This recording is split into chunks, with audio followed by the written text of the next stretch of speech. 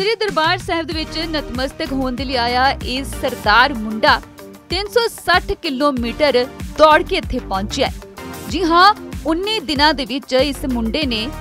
360 kilometre ਦਾ ਰਾਹ ਦੌੜ ਕੇ ਤੈਅ ਕੀਤਾ ਹੈ ਤੇ ਫਿਰ ਸ੍ਰੀ ਹਰਿਮੰਦਰ ਸਾਹਿਬ 'ਚ ਮੱਥਾ ਟੇਕਣ ਪਹੁੰਚਿਆ ਹੈ। ਇੰਨਾ ਹੀ ਨਹੀਂ, ਰਾਹ ਦੇ ਵਿੱਚ ਜਿੰਨੇ ਵੀ ਗੁਰੂ ਘਰ ਆਏ, ਸਾਰਿਆਂ ਦੇ ਵਿੱਚ ਮੱਥਾ ਟੇਕਦਾ ਆਇਆ ਹੈ। ਇਸ ਨੌਜਵਾਨ ਦਾ ਨਾਮ ਅਮਰਪ੍ਰੀਤ ਹੈ, ਜੋ ਕਿ ਹਰਿਆਣਾ ਦਾ ਰਹਿਣ ਵਾਲਾ ਹੈ। ਅਤੇ ਸਿੱਖ ਧਰਮ ਪ੍ਰਤੀ ਲੋਕਾਂ ਨੂੰ ਜਾਗਰੂਕ ਕਰਨ ਦੇ ਲਈ ਕੁਝ ਵੱਖਰਾ ਕਰਨਾ ਚਾਹੁੰਦਾ ਸੀ, ਜਿਸ ਨੇ 9 ਤਰੀਕ ਨੂੰ ਹਰਿਆਣਾ ਤੋਂ ਆਪਣੀ ਦੌੜ ਸ਼ੁਰੂ ਕੀਤੀ ਤੇ ਹੁਣ 19 ਦਿਨਾਂ ਦੇ ਵਿੱਚ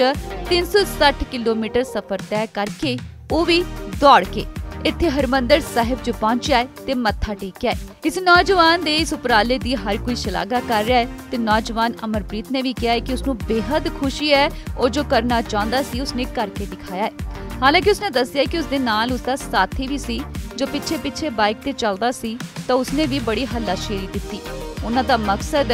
ਲੋਕਾਂ ਨੂੰ ਗੁਰੂ ਘਰਾਂ ਦਾ ਮਹੱਤਵ ਸਮਝਾਉਣਾ ਤੇ ਸਿੱਖ ਧਰਮ ਪ੍ਰਤੀ ਜਾਗਰੂਕ ਕਰਨਾ ਸੀ, ਜਿਸ ਨੂੰ ਉਹਨਾਂ ਨੇ ਪੂਰਾ ਕਰ ਦਿਖਾਇਆ ਹੈ।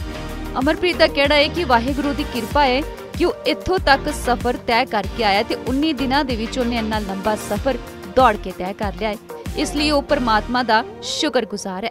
ਮੈਂ ਜੀ ਆਪਣਾ ਹਰਿਆਣੇ ਦੇ ਆਇਆ ਹਾਂ ਅੰਬਾਲੇ ਦੇ। ਗਾਉਂ ਗਾਉਂ ਮੇਰਾ ਮਛੁੰਡਾ ਹੈ। ਔਰ ਨਾਮ ਮੇਰਾ ਅਮਰਪ੍ਰੀਤ ਸਿੰਘ ਹੈ। ਸਨ of ਸੁਖਵੰਤ ਸਿੰਘ। ਮੇਰਾ ਮੈਂ ਆਪਣਾ ਰਨਿੰਗ ਕਰਦੇ ਵੇ ਅੰਬਾਲੇ ਦੇ 360 ਕਿਲੋਮੀਟਰ ਦਰਬਾਰ ਸਾਹਿਬ ਦਰਬਾਰ ਸਾਹਿਬ ਆਇਆ ਹਾਂ।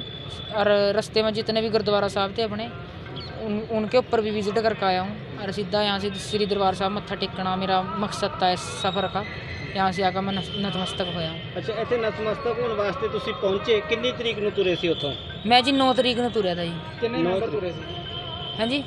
ਕਿੰਨੇ ਜਾਣੇ ਮੈਂਬਰ ਸੀ मैं जी रनिंग करने वाला मैं अकेला था पर मेरे साथ मेरा एक साथी था जो सा मेरी गल वीडियो बना रहा था ਹਾਂ और जिनने मतलब कि मेरा ध्यान भी रखा ਹੂੰ मतलब कि हर तरीके से जिस तरह भी मैं डाइट की जरूरत पड़ा दी ਹੂੰ रनिंग करते हुए जो भी मैं पानी की जरूरत पड़ा दी या कुछ भी चीज़ की जरूरत पड़ा दी तो उनने मेरा भरपूर साथ दिया ਰੋਜ਼ ਕਿੰਨੇ ਘੰਟੇ ਰਨਿੰਗ ਕਰਦੇ ਸੀ ਰੋਜ਼ ਹੀ ਆਵੇ ਲਗਾ ਲਓ ਜੀ ਡੇਢ ਘੰਟਾ ਤੋਂ ਕਮ ਸੇ ਕਮ ਲਗਾ ਕੇ ਚਲੋ ਡੇਢ ਤੋਂ 2 ਘੰਟਾ ਲੱਗ ਜੇ ਕਰਾਦਾ ਮੈਨੂੰ ਕਿਉਂਕਿ ਮੈਂ ਕਿਉਂਕਿ ਮੌਸਮ ਦੇ ਹਿਸਾਬ ਤੇ ਰਨਿੰਗ ਕਰੇ ਕਰੂੰਗਾ ਪਹਿਲੀ ਵਾਰੀ ਹੈ ਕਿ ਅੱਗੇ ਵੀ ਤੁਸੀਂ ਇੱਥੇ ਆਏ ਹੋ? ਨਾ ਜੀ ਮੈਂ ਰਨਿੰਗ ਕਰਦੇ ਹੋਏ ਪਹਿਲੀ ਵਾਰ ਆਇਆ ਹਾਂ ਵੈਸੇ ਮੈਂ ਆਇਆ ਹਾਂ ਯਹਾਂ ਸੀ ਦਰਬਾਰ ਸਾਹਿਬ ਕਿੰਨੇ ਕਿ ਧਾਰਮਿਕ ਸਥਾਨ ਤੇ ਮੱਥਾ ਟੇਕ ਚੁੱਕੇ ਹੋ ਜੀ ਰਸਤੇ 'ਚ ਮੈਂ ਜੀ ਰਸਤੇ 'ਮਾ ਸਭ ਤੋਂ ਪਹਿਲਾਂ ਫਤਿਹਗੜ੍ਹ ਸਾਹਿਬ ਮੱਥਾ ਟੇਕਿਆ ਫਿਰ ਸ੍ਰੀ ਕੋਤਵਾਲ ਸਾਹਿਬ ਮੱਥਾ ਟੇਕਿਆ ਫਿਰ ਆਪਣਾ ਚਮਕੌਰ ਕੀ ਗੜੀ 'ਮਾ ਮੱਥਾ ਟੇਕਿਆ ਫਿਰ ਸ੍ਰੀ ਭੱਠਾ ਸਾਹਿਬ ਮੱਥਾ ਟੇਕਿਆ। फिर बाबा बजित्र सिंह जी के स्थान पर भी गए जो सा वहाँ से है बनया हुआ फिर ਨਹੀਂ उस, ਤਾਂ उसके बाद ਇੱਥੇ ਮੱਥਾ ਟੇਕਣ ਆਏ ਹੋ ਤੁਹਾਡੀ ਇੱਥੇ ਕੋਈ ਸ਼ਰਧਾ ਸੁਖਣਾ ਸੀ ਤੁਹਾਡੀ ਕੋਈ ਸ਼ਰਧਾ ਸੀ मैं जी मेरा मोटिव ये था कि मैं मेरे ज- जब मतलब कि मैं गेम करे करूँ था तो मतलब मैं एथलेट एथलीट हूँ तो हर ऊपर से एक सिख भी हूँ तो शुरू से मेरे मन में यही था कि मैं कुछ अपने धर्म जोगा करूँ तो मैं इस तरीके से अपने धर्म ਨੂੰ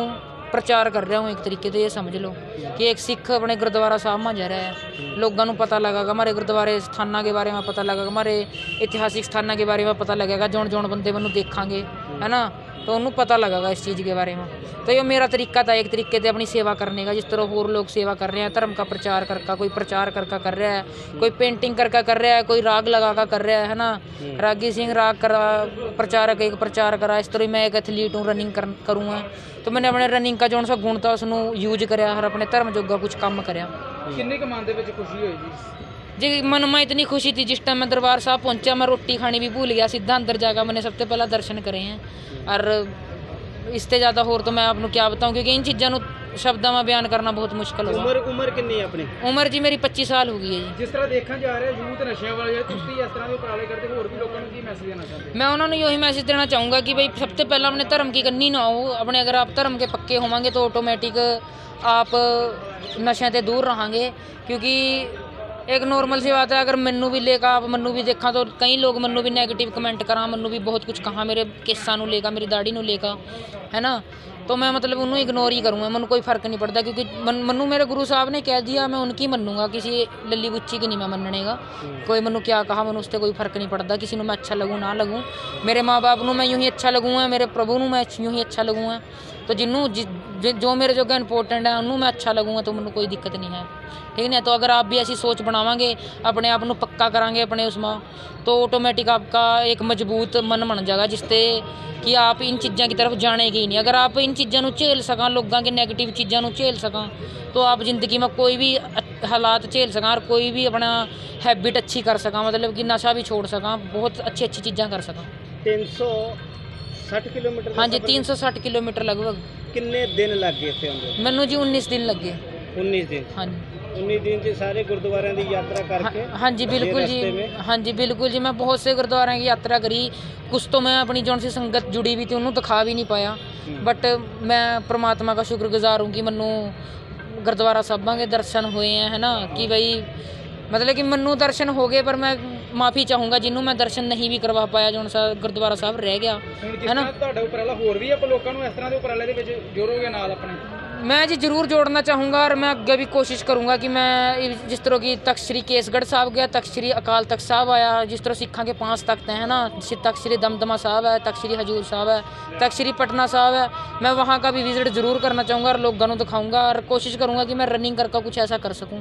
या फिर कुछ ਅੱਛਾ, ਇਸ साइकिलिंग ਤੋਂ- करके कुछ ਇਸ ਤੋਂ ਬਾਅਦ ਵੀ ਜਾ- ਯਾਤਰਾ ਤੇ ਜਾਣਾ ਹਲੇ ਭੱਜ ਕੇ ਹੋਰ ਕਿਤੇ मैं जी कोशिश करूंगा अगर परमात्मा ने अकाल पुरख की कृपा हुई और मनु अच्छी सपोर्ट बनी रही लोगों की लोगों ने अपना प्यार दिखाया तो ज़रूर मैं कोशिश करूँगा। क्योंकि इस टाइम तो मेरी हालत बहुत ज़्यादा ख़राब हो गई है इस सफ़र के बाद। क्योंकि मैं बीमार भी हो गया बीच में बहुत ज़्यादा।